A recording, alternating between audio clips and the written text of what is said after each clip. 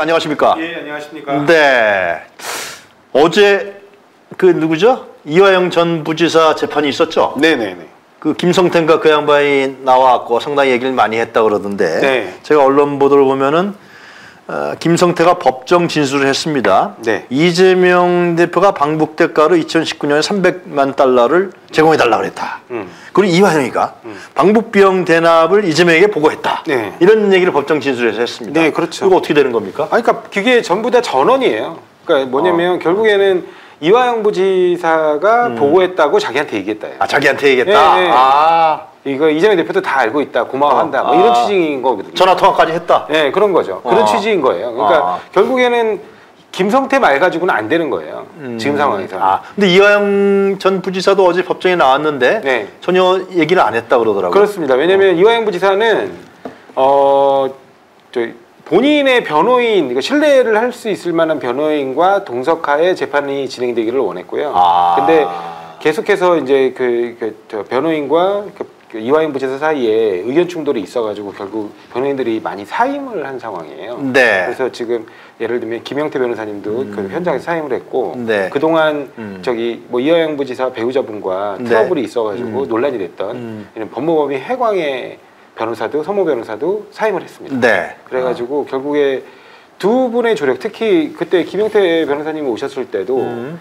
나는 그 해광의 도움을 받고 싶다. 음. 계속 그래서 함께 변론을 받고 싶다라고 네. 얘기했는데 거기가 사임하면서 음. 사실상 이제 법정에 구속 피고인인데도 불구하고 변호인이 없는 상황이고 뭐 국선 변호인 뭐 임명했다는 왜냐면 우리 어. 법상으로는요 구속된 피고인은 필요적 변론 사건이라 그래서 반드시 아. 변호인이 있어야 돼요. 아. 그렇지 않으면 재판 진행 자체가 안 됩니다. 네. 그래서 결국에는 재판부가 이렇게 해서 계속 기일을 공정시킬 수는 없기 때문에 음. 변호인을 붙여서 하겠다. 음.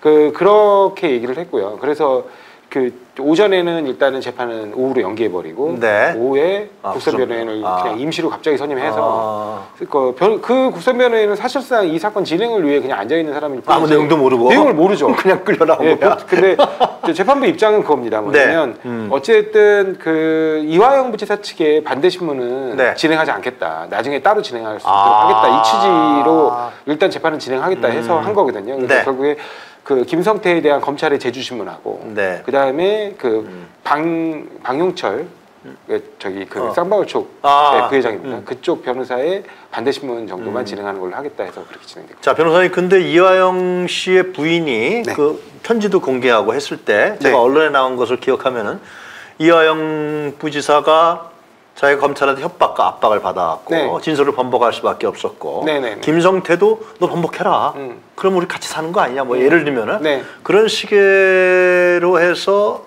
그 부인이 그런 진술을 하고 또 옥중 편지도 공개됐단 말이죠 네네네. 이거 뭐 사실로 봐야 되나요 아니면은 뭐 어떻게 한 거예요? 어, 저는 그게 맞다고 봅니다. 그리고 네. 음. 지금 이 사건은 되게 독특한 게 네. 현재 기소된 사, 사, 이 사건의 기소 범위는 네. 이화영 부지사 같은 경우는 음. 뇌물과 그러니까 본인이 받은 무슨 그 일부, 일부 현금과 그다음에 네. 그 음. 저기 법인카드를 어. 부단 사용하게 된 예, 예, 예, 예. 그 그러니까 법인카드 제공된 거죠. 그러니까 그게 이제 뇌물이라는 거고 음. 그것과 그다음에 외환거래법 위반. 그러니까 뭐냐면 그 김성태가 음. 뭐 정확하게 금액까지 아는지는 모르지만 500만 달러든 300만 달러든 음. 북한에 전달하기 위해서 돈을 가지고 가는 과정을 함께 공모했다는 거예요. 그게 외환거래법이에요. 아. 근데 지금 수사는 외환거래법이 재판이 그러니까 지금 그때 김영태 변호사님이 지적했던 건 뭐냐면 음. 이 사건 외환거래법과 뇌물 사건은 벌써 심리가 끝나도 진작에 끝났다. 근데 왜 계속해서 음. 지금이 기소되지도 않은 네. 그 기소되지 않은 범위 내에서의 그 이른바 제3자 뇌물 네. 이재명 대표의 수사와 관련된 음. 사항들을 음. 이 재판에서 다투느냐래요. 그래 신기하네. 그렇죠. 신기해, 신기해 정말. 아니 이재명 본인도 없는 상황에서 그렇지. 이재명 대표에 어. 관련된 재판을 여기서 하고 있는 거예요. 어. 그러니까 이게 말이 되냐? 난 이런 재판을 처음 봤다. 그러니까 예를 어. 좀 비교해 볼게요. 예를 들면 그 지금 우리 그 중앙지방법원에 이건 네. 수원법원인데 네네. 그 중앙지방법원에 그 22부 재판부에서 예. 지금 이른바 대장동 본류 사건이라고 하는 대장동 민간 업자들에 대한 사- 재판이 지금 2년 가까이 지금 어, 진행되고 네, 있습니다. 네, 네. 거기 재판부에서 갑자기 남욱 변호사가 네. 본인이 직접 증인을 신문하겠다고 하면서 어. 정민영 변호사를 증인으로 세운 사- 상태에서 뭐라고 물어보냐면 네. 옛날에 김용 변호 김용 부원장이 어. 와가지고 뭐돈 가져가는 거 본 적 있지 않냐 막 이런 얘기를 해요. 막 예. 질문을 해요. 어. 그러니까 그때 즉시 재판부가 개입을 합니다. 그거는 김용부 원장 재판이 따로 진행되고 있고 이 사건과는 전혀 관련이 없다. 여기 그렇지. 기소된 사건이 아니다. 음. 근데 니들 갑자기 왜 이런 이상한 음. 질문과 답변을 주고받으려고 그래? 예. 어. 그러면서 그 질문과 답변을 전부 삭제하라 그래요. 어. 즉시 삭제하라고. 음. 그래갖고 그냥 증인 시- 그, 그, 그 녹취록에 아예 삭제하는 걸로 네. 해버렸습니다. 네. 어. 그게 원래 정상이에요. 왜냐면 기소되지 않은 사건의 범위를 음. 심판, 왜 불구분리 원칙이잖아요. 심판하지 그렇지. 않아야 되는데 어. 지금 재판부는 너무 그러니까 김현태 변호사님이 이해가 안 되는 게 검찰이 재판을 수사에 활용하고 있는데 그걸 방치하고 있는 거예요. 그 어저께 신준호 그- 부장 판사인데 네. 일단 이분도 이해가 안 되는 게 우리가 그러거든요. 맨날 오히려 혼나야 돼요. 그 22부 재판부처럼 혼을 냅니다. 아니 그 사건과 이 사건이 관련이 없는데 왜 여기서 그 사건을 갖다가 그 물어보고 진행을 해 이렇게 김성태가 어제 법정 진술한 게 나오니까 수원지, 수원지검에서 음. 이재명 당 대표를 피의자 신분으로 전환시켰다고 그러더라고. 그러니까 이게 완전히 난센스 코미디인 거예요. 자기들끼리 북치고 장구치고 하는 거잖아요. 아. 그리고 지금 김성태를 그 변론하고 있는 음. 그 변호사들이 전부 검찰 출신 그 정관들 아닙니까? 그것도 그래요? 특수부 출신들. 특수 출신들이. 네, 다 특수부 출신들이에요. 이남석 변호사를 필두로 해가지고 음. 다 이른바 윤, 그 윤석열 사람들이에요. 전부 다. 윤석열 그 저희 그 어. 당시 그 검찰총장 아닌데 내지는 검사와 뭐 할 때 하고 갔을 특수부 때. 거- 근무원이 어. 다 있는 사람들이에요. 근데 만약에 그러니까 어- 어처구니가 없는데 명백하게 네. 명백하게 증거를 갖다가 그 현직 검찰 수사관이 빼돌려 가지고 음. 저 전직 검찰 수사관이 쌍방울 이사한테 줬어요. 네. 근데 그게 결국 최종적으로 어디 사무실에서 발견됐냐면 이남석 변호사 사무실에 발견됐거든요. 그래갖고 했는데 결국 이남석 변호사만 빠져나갔어요. 네. 그런 놈, 그런 사람들입니다. 진짜. 그런 놈이라고 싶다. 방송이니까 요건 네네. 좀 삼가해. 네네네. 그런 사람들. 아, 그러면 만약에 이화영 전 부지사가 아니야, 그거 잘못된 거야. 네. 나는 이 김성태 꼬임에 빠져서 김성태가 뭐, 뭐 하자 그래서 내가 이재명 그 대표한테 그런 사실 보고한 바도 없고 음. 그런 일도 없었어라고 만약에 이화영 전 부지사가 법정에서 네. 재판 중에서 만약에 얘기를 하게 되면은 음. 이 사건은 어떻게 되는 겁니까? 그러면 증거가 없는 거죠. 증거가 없어요. 예, 증거 능력 있는 증거는 없는 거죠. 그런데 왜냐면 뭐- 아까 제가 어. 말씀드린 것처럼 예. 김성태의 진술은 음. 전문 증거이기 때문에 증거 능력이 없어요. 아. 그런데 하여튼 간에 이걸 해서 수원지검에서 뭐 위해서 압박을 받았든 뭐 한도 음. 하여튼 간에 이제 이재명 당대표를 소환 조사하겠다는 거 아닙니까? 네네네. 전번에 백현동은 어느 지검에서 갑니까? 그건 서울중앙지검인가요? 백현동 건으로 백현동 건은 서울중앙지검이죠. 아 거기서 하고 네. 쌍방울은 수원지검에서 네. 하고 그러니까 언론에 나온 지금 이 김성태의 이 진술을 검찰이 왜 그, 국, 그러니까, 그러니까 끝끝내 받아내고 싶었냐. 네. 그게 일단은 궁금하잖아요. 음, 그렇죠. 진술을. 음. 검찰은 음. 김성태도 못 믿는 거예요. 이 건달 조폭 의 말이 언제 바뀔지 모르잖아요. 한동훈도 깡패라 그랬지 전에. 그러니까 예, 건달 조폭의 말이 언제 바뀔지를 몰라요. 그렇지. 원래 우리가 형사 사건 할 때 기본이 딱 깔고 들어가는 게 그겁니다. 음. 그 조폭이나 마약 사건은 피의자를 믿으면 안 된다는 거예요. 말이 워낙 많이 바뀌기 때문에. 아. 음. 근데 그 이 김성태를 법정 진술로까지 끌어내면 이제 위증죄 문제가 생기니까 음. 얘가 말을 못 바꿀 거라는 거예요. 그래서 반드시 그러니까 이미 검찰 조사에선 진술 다 나왔죠. 음. 근데 그거 왜냐면 근데 어차피 이거는 증거 능력 없는 증거들이고 음. 다 의미가 없잖아요. 네. 그리고 법정 증언도 물론 독자적으로는 증거 능력이 있는 증거도 아니죠. 네. 근데 결국에는 이거라 그럼에도 불구하고 법정 증언은 받아놔야 음. 김성태의 말바꾸기로 나중에 되치기 당하지 않는다 검찰이 아. 그런 생각하는 겁니다. 아. 그렇다면 이제 이재명 당대표 소환하겠네요, 요거 갖고. 이제 그걸로 소환할 수 있을지는 모르겠어요. 소환하겠대요. 소환하겠다고 하는 것 같습니다. 아. 네. 이 건에 딱 있고 공식 발표하는 거 보니까 저는 이 건은 왜냐면 피의자로 입건했는지 여부를 따로 알려주지는 않습니다 원래. 근데 언론에 안- 났잖아요. 네, 났죠. 어. 그러니까 저희는 진작에 입건된 줄 알았어요. 하도 난리를 치길래. 근데 이제 입건한 거네요. 아, 입건할 거리가 안 됐던 모양이구나. 하여튼. 그런 말이 변호사님 이제 백현동 건하고 백현동 가서 소환 조사 받았고 네. 백현동 건하고 이 쌍방울 건하고 네. 해서 합쳐서 음. 영장 청구하겠다는 거 아니에요? 그 얼마나 자신감 없으면 모르겠습니까? 아, 아니 백현동 뇌물을 걔네들한테 수백억을 안겼다는 거잖아요. 재손자 뇌물로. 글쎄 말이에요. 네, 수백억인지 수천억인지 지금도 계산하고 있을 거예요. 그래요? 뭐, 뭘로 어떤 방식으로 어떤 어, 기준으로 어, 계산하는지는 어. 모르겠는데 하여튼 예. 수백억 수천억인지 저- 어. 정확히는 모르겠지만 어. 엄청나게 거액을 어. 민간업자들에게 이익을 안겨, 안겨줬다는 거 아닙니까? 제3자 뇌물로 네. 이쪽은 돈 한 푼도 안 받았는데 어, 이쪽은 아무- 네. 받았다는 아무것도 없는데. 네, 아무것도 없는데요. 그러니까 이런 저기 키다리 아저씨가 없죠. 그러니까 배임죄 플러스 뇌물죄예요, 그게?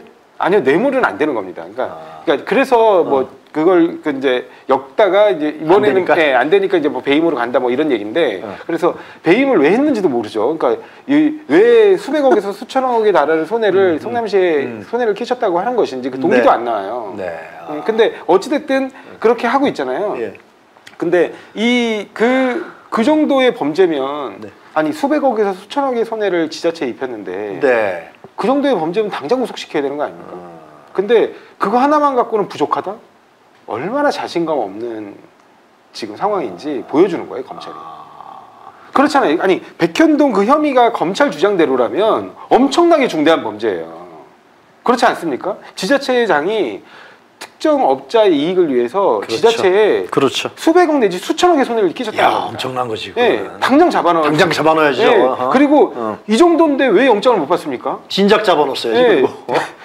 진작에 영장을 받을 수 있어야죠. 어. 근데 이거 하나만 가지고 약하다라고 자기들끼리 이렇게 속닥속닥 하는 것 자체가 지금 검찰의 상황을 보여주고 있는 거라고 생각합니다. 거기다 이제 쌍방울까지 얹어서. 예, 갑자기. 얹어서라도 하겠다. 아. 그것도 관할이 다른 두 개. 그럼 도대체 이걸 어떻게 할 거냐? 그것도 문제잖아요. 근데 지금 보십시오. 여- 영장 청구를 어디다 해요, 그럼? 수원지법에 해요? 중앙지법에 해요? 아 그러니까 결국에는 그러면 할, 하려면 사건을 넘겨야 돼요. 송치해야 돼요. 다시 아. 타, 타관 송치를 해야 됩니다. 아. 그러면 만약에 백현동 걸 넘기면 그건 이중 송치예요. 왜냐하면 처음에 성남에 있던 사건을 중앙에다 옮긴 거거든요. 아, 그래요? 예. 어. 근데 중앙에서 원래 받은 기관이 한번 송치를 받으면 네. 그 사건은 특별한 상황, 아주 특별한 상황이 없는 한 특별한 상황이 없는 한 아직 하여튼 본 적이 없어요. 본 적이 또 없어. 다른 기관에 재차 송치하는 어. 걸 본 적이 예. 없거든요. 예, 예. 근데 이제 어. 그러면 수원에다 보내긴 또 이상한 거죠. 그러면 또 수원에 있는 걸 여기다 올리느냐? 예. 근데 지금 수원에는 관련 사건 재판까지 진행되고 있죠. 애매해지는 거예요. 어디다 해? 어디 모르겠습니다. 의정부에다 갖다 주려나? 하여튼 뭐. 저 도저히 하여튼 지금 이해할 수 없는 일들이 계속 벌어지고 있기 때문에 아. 제가 어떻게 이럴 것이다라고 얘기 드리기도 민망해요. 그러면 말이에요. 변호사님은 워낙 법조 생활 하셨으니까 음. 그 검사들도 많이 괴롭겠네요. 그 담당 검사들도. 아, 그러니까 제가 아까 드린 말씀처럼 어. 그 수, 수백억 내지 수천억의 손해, 손해를 끼쳐서 민간업자에게 이익을 줬다라는 그러한 범죄를 저질렀다고 자기들이 주장하면서 네. 그거 하나만 갖고는 영장 치기가 어렵다라고 얘기하는 그 자체가 난센스라는 거예요. 얼마나 수사팀이 자신감이 없는지를 아. 단적으로 보여주는 거죠. 위에서 빨리빨리 집어넣어 뭐 그런 얘기를 하는 겁니다. 위에서는 원래부터 빨리빨리 집어넣으라고 하고 있는데 네. 오히려 수사팀이 난색을 보이니까 지금 이 상황까지 온 거잖아요. 그러니까 정말 어떻게 보면 짠하다는 생각도 들고 그런 그런 불쌍, 생각이 불쌍하다. 네, 검사들이. 안타깝잖아요. 오- 오죽했으면 오죽 자신이 없었으면 어. 그렇게 1년 넘게 수사를 하고도 어, 이 비행기 때 들어오라 그랬잖아요. 비행기 때. 비행기 때면 이제 뭐 그 뭐라 그러죠? 불체포 특권을 쓸 수 있는 여지도 없는 거예요. 음, 그렇잖아요. 그렇죠, 그렇죠. 네. 비행기 때 들어와라. 그럼 그러면 가장 자신이 있었다면 비행기 때 당연히 늦죠. 아, 야 이게 어디야? 어. 너 잘됐다, 잘 어, 걸렸다. 야. 음. 씨. 그리고 다, 다- 당연히 들어와야 되는데 또 이게 뭐 아니 우리가 네가 무슨 저기 짜장면이냐 시키면 뭐 하냐? 그러면 한- 뭐 중, 저 한- 검찰은 중국집입니까? 하- 한동훈이가 네. 너왜 그랬지 또. 예, 어. 마음대로 무슨 짜장면 어, 음식 고르듯이 음, 하냐? 음. 어, 날짜를 음. 아니 그럼 그- 그- 자- 우리가 짜장면 시키면 그럼 검찰은 중국집이에요? 아니 어처구니 없는 그런 말 말장난을 하면서 음. 이게 정치적 의도가 없는 거라 없는 거고 만약에 이 범죄인을 꼭 구속시켜야 돼 구속시켜서 재판을 진행해야 되는 사건이다. 음. 그러면 지금처럼 좋은 후기가 어디 있습니까? 그렇지. 근데 안 들어오잖아요. 능력 박힌 거죠 자기들. 자, 그러면서- 그러, 그렇게 되면 하여튼 9월달에 정기국 때 들어 들어가겠죠? 그러면서 더 웃긴 건 국민의힘 태도예요. 뭐예요? 우리 보고 방탄국회 하지 마라, 불체포 특권 쓰지 어. 마라. 그 난리를 치더니 네. 정작 회기 때 들어와야지 왜 비기 때 들어오냐고 장난치잖아요. 네. 난 얘네들 아마 부결표 던질 것 같아요. 그러면서 나중에 책임은 어, 야, 이거 저 민주당 애들이 부결시켰다 이렇게 얘기하고 싶은 거 아닌가. 어차피 자신 없으니까 법정에 가면 자신 없는 건 자, 자기들이니까 아, 검찰과 한 표로 짜가지고 차라리 회기 때 넣고 음. 지들이 부결시킬 것 같아. 그 민주당은 그래서 어떻게 한다는 거예요? 지금 민주당은 좀 다 나와버리자 투표하지 말자. 뭐 이제 예, 그런 여러 여러 얘기들은 나오고 있습니다. 어, 어떻게 할 것 같아요, 민주당은? 글쎄요, 하여튼 그 내부에서 논의를 뭐 의원들이 결정하는 거니까. 네. 근데 하여튼 지금 상황이 그렇다는 게 너무 웃기잖아요. 만약에 자기들 국민의힘 입장도 어. 이게 체포동의안을 정말 쓰- 그러니까 불체포 특권을 쓰면 안 되고 음. 체포동의안 가결을 시켜서라도 반드시 법정에서 그, 그 이재명 대표를 세우고 싶었다면 음. 아유 그러지 말고 검찰한테 얘기할 거 아니야. 야이 형이 비얘기가 되니까 이 비얘기 때 너라. 음. 그래야지 너네들이 깔끔하게 해결한다. 이- 그게 자신감 있는 태도잖아요. 근데 그렇게 못 하잖아요. 아 근데, 근데 또 걱정되는 건 말이에요 변호사님. 네. 하여튼간에 뭐 하여튼 뭐 PPT를 만들고 뭐 어쩌고 저쩌고 해갖고 이만큼 또 만들어서 음. 영장 실질사 받는데 가서 뭐 프리덴체를 하고 네. 또 여러 가지 압박도 넣고 지금 뭐 대법원장도 바꾼다 전번에 누구죠? 저 정진석이 신형 때린 판사도 완전히 도리질하고 음. 무슨 영장 실질 심사하는 판사를 압박을 넣어서 음. 이재명을 구속시킬 수도 있는 거 아니에요? 그러니까 그 이 영장 네. 단계가 지금 우리 영장 단계는 여러 가지 형태로 개선이 필요하긴 한데요. 네. 근데 어찌됐든 음. 뭐 불가피한 측면도 있습니다. 왜냐면 영장 단계에서는 아직 수사 중인 사건인 거잖아요. 그렇죠. 근데 수사 중인 사건에서 증거가 노출이 됐을 경우에 이제 증거 인멸이라든가 음. 그런 우려 등이 발생할 수 있어서 네. 그러는 사정도 물론 이해는 하지만 네. 어찌됐든 현재 현행 영장 심사 단계에서는 변호인 입장에서는 영장밖에 못 봐요. 그러니까 심지어 검찰이 그 영장재판부에 어떤 증거를 냈는지도 몰라요. 가서 하는 거예요. 네, 그냥 아니 가서 몰라, 가서도 몰라요. 걔네들이 PPT 자료로 설명하는 내용만 보고 반박을 그 즉시 해야 돼요. 어, 그 PPT 자료를 그러면 멈춰 주느냐? 그것도 아니에요. 그러니까 완전 기울어진 운동장이네. 그렇죠. 어? 그래서 어. 실제로 검사들은 유죄 자기들이 유죄 증명하기에 용이한 그러니까 진짜 이 사람이 나쁜 사람이다 라고 할 만한 증거들만 편집해서 냅니다. 전체 증거를 또 내는 것도 아니에요. 전체 증거를 낼 의무도 없고. 그러니까 그 피고인에게 유리할 만한 자료는 일체 다 빼고 피고인에게 오로지 불리할 만한 자료들만 편집해서 내요. 그럼 실질 심사에서 기각을 받는다라는 것은 진짜 대단한 거예요. 대단한 거예요, 사실은. 네. 아, 대부분 다 인용될 수밖에 없는 어, 거예요. 그 원래 그런 구조입니다. 이거 어떻게, 어떻게 될 것 같아요, 우리 이재명, 이재명 대표는? 그 만약에 아. 받게 되면은, 아이, 그러니까 저는 아니, 그- 은근히 걱정하는 분들도 많이 있거든. 근데 마- 이 지금은 이미 이 예를 들면 백현동 사건이라든가 음, 쌍방울. 쌍방울 사건들에 대해서 이미 그 관련 재판이 진행됐거나 과거에 음, 감사를 두 차례 놨어요 감사원에서. 그래요. 예. 감사까지 예, 했어. 예, 감사원에서 히- 아니 현 정부에서도 했습니다. 그 유병호 아. 감- 유병호 그 아, 사무총장이, 그 사무총장, 아. 사무총장이 주도해가지고 했어요. 네. 근데 결국 발견 못해가지고 아무 조치도 못했거든요. 음. 그러니까 그런 것들인데도 불구하고 거- 그 과정에서 어, 이재명 대표의 무죄를 증명할 만한 증거가 너무 많이 나와요. 아, 그래요. 예. 근데 그렇기 때문에 어느 정도 우리도 방어의 키를 갖고 싸울 수는 음. 있는 상황이어서 음. 이 정도 그, 그 혐의 사실을 가지고 이 정도 법리 구성 가지고 과연 영장을 내줄 수 있을까? 저는 합리적인 법률가라면 도저히 불가능하다고 봅니다. 법원은 사실상 어떤 증거를 편집해서 넣는다 하더라도. 하더라도 법원이 만약에 그걸 인용한다 그러면은 영장을 발부한다 그러면 저 법률가의 양심으로 이해할 수가 없어요. 그럼 법원은 사실상 네. 우리 사회에서 네. 존재 가치가 없어져 버리는 음. 들어가겠고 그것도 제1야당 대표를 네, 그럼요. 회기 중에 네. 굳이 음, 뭐 왜냐면 지금 단계에서 만약에 이 백주 대낮에 이 그 야당 대표가 음. 어디 움직이는 노선, 그 동선이 노출이 안 됩니까? 어떻게 증거 인멸을 하고 어떻게 도주를 도주 한다는, 네, 있네. 한다는 말입니다. 중대 범죄도 아니고 네, 그럼요. 아니 얘네는 중대 범죄라고 주장하죠. 아, 주장하겠지. 네, 근데 일단은 도주 우려 자체는 없는 게 명백하고 그렇죠. 증거 인멸 우려도 음, 관련자들을 만나는 순간 순간이 다 기록이 되는 상황이에요 지금. 네, 그렇죠. 네, 야당 음. 대표이기 때문에 어디서 비밀로 몰래 만납니까? 비밀로 몰래 만날 방법도 없어요. 근데 무슨 증거 인멸입니까? 그렇다 그러면 일부 언론에서 얘기한 대로 지금 이게 도돌이 부메랑이 될 수가 있다. 윤석열 정권에게 음. 네. 영장 어, 신청한다는 것이 그건 어떻게 보세요, 변호사님? 아, 저는 당연하다고 봅니다. 아, 그럼 얘들이 어, 근데 지금 그 윤석열 정권은 정치를 하지 않잖아요. 총- 총치하잖아요. 정치를 하는 게 아니라 검찰질만 하는 거잖아요. 아, 검찰질만 네. 검찰질만 하고 있어요. 아. 정치질을 하는 게 아니고. 그럼 하여튼 하겠다 그랬으니까 영장 체포동의안 내겠네요. 아니 그런 수, 수순인 것 같습니다. 그러니까 여론의 눈치도 1도 안 봐요. 이 정도는 아. 제가 볼 때는. 아, 그냥 자기 하고 싶은 대로 하는 거예요. 아, 난 제 기분 나쁘니까 일단 수사해서 일단 영장 쳐. 아, 기각되면 또 해도 돼. 우리 뭐 역풍 그런 거 없어. 역풍 그런 게 어딨냐? 내가 검찰권 다지고 있는데. 그렇게 생각하는 것 같습니다. 알겠습니다. 자, 오늘 말씀 잘 들었습니다. 네, 네. 변호사님. 네. 네. 네. 아, 아침에 바쁘신데 아, 예, 아니. 정확한 말씀해 주셔서 대단히 감사합니다. 네, 감사합니다. 자, 고생하세요. 네, 감사합니다. 감사합니다. 네.